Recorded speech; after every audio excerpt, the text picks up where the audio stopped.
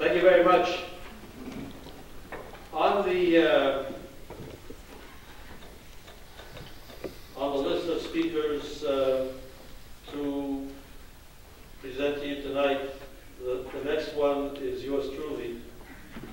And I am actually much more interested in hearing from what others have to say.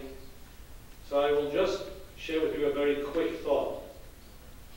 Uh, it's a sickening thought.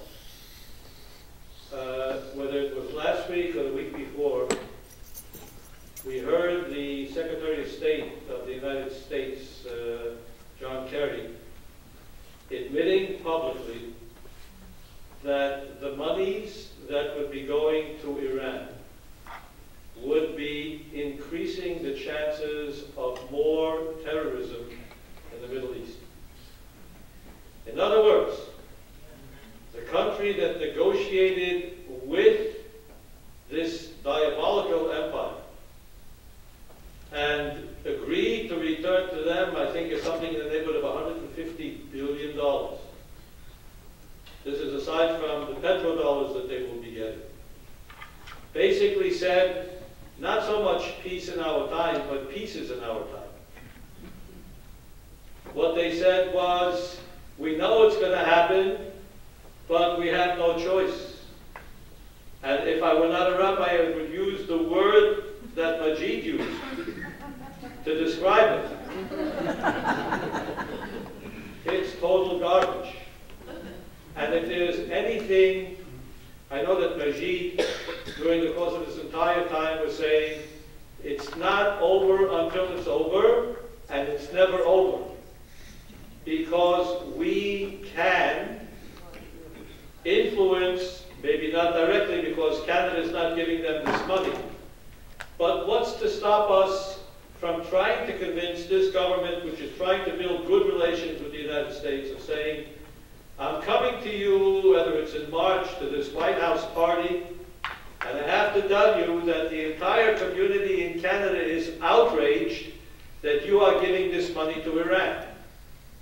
Because what you're doing is sowing the seeds of further destruction, and you know this is a diabolically evil country that you cannot trust, and even if it promises you that it's not going to be using this money for evil, you don't believe them.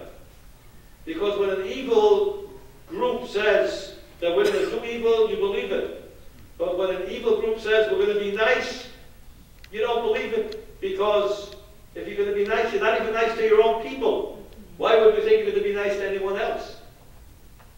So if we have, let's say, a simple agenda from now until that moment comes, to actually flood the Prime Minister's emails and, uh, and office with saying that when you go down to the United States to tell the President of the United States that Canadians are outraged that this money is going to people who are going to kill innocent others, including Canadians.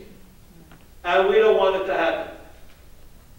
So if you need some ammunition for what you write, this is what you write. Write this amongst other things so that somehow or other we can make an influence. We can have an impact. Is there a guarantee? No. But if the Prime Minister is carrying this on his shoulders as he's going down there and speaks to an Obama who wants to be nice to Canadians, we can say, be nice to Canadians by taking into account what Canadians really believe. Thank you.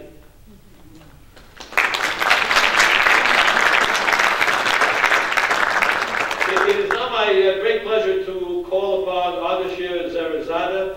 I don't know if I pronounced his name right, and I hope he'll forgive me. It was not intentional. A human rights activist and legal practitioner in Toronto, known for his extensive activities in human rights in Iran and neighboring countries. He was a spokesperson for the United Student Front, the biggest student secular democratic group in Iran, during Khatami's presidency. He is the co-founder